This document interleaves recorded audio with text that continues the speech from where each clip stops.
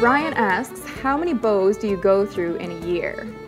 Uh, it, it varies actually. I'm not really a shredder per se with my bows, but when I'm on, say, Norwegian Cruise Line and we're doing a huge amount of playing, I'll go through about one a week, I guess. Then if I'm just playing around home and doing a few gigs here and there, then I don't need to get a bow rehaired for quite a while. So eight, ten times a year, I would say. But I have more than one bow.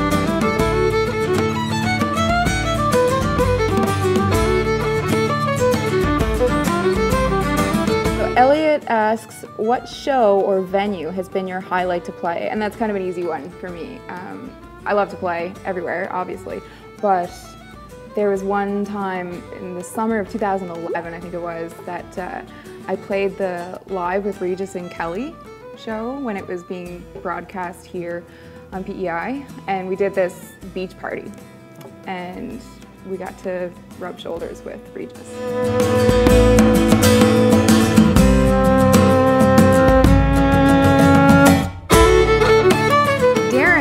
Asks, which of your albums is your favorite? That's a tough one. Right now I have five albums. They're all pretty different. Uh, I started when I was 16, so my first one is really straight up trad. Um, then the others are like, there's a couple more progressive for me albums. Um, I would have to say my favorite is Riddle, and don't tell anybody I said that, but yeah, my favorite is Riddle. Cracker Jack close second.